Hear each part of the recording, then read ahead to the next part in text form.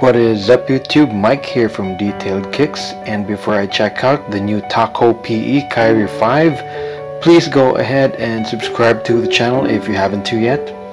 And now let's check out the sneakers. As you can see here this is quite a different take on the Kyrie line. It has a camel print pattern that is more outdoorsy or woodsy like a wood camel pattern and as you can see the swoosh actually is quite exaggerated. It's a big swoosh that wraps around the shoe.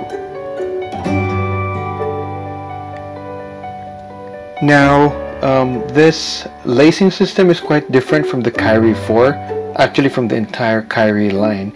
It does use flywire but there is some sort of a containment system which is inspired supposed to be inspired by the Venus flytrap. You know, the, the plant that eats the insects. And moving to the sole, you'll see this familiar pattern which is supposed to be one of Kyrie's tattoos. Which actually is quite an interesting design element.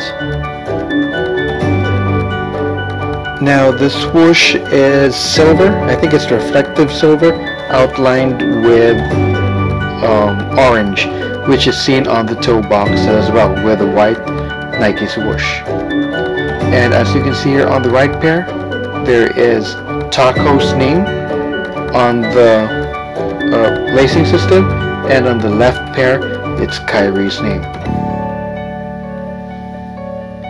Now, this was first released in LA in a few courts. I think um, Taco actually went around different courts in LA and held raffles um, for the people who were participating in either the games or were around the courts.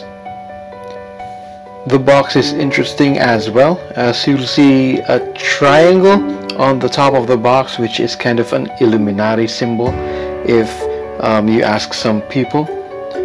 Um, so um, going back to the release, so it was released on the 22nd. It was a larger release, a global release. But prior to that, um, Travis Taco Bennett actually went around um, courts in LA and gave these around.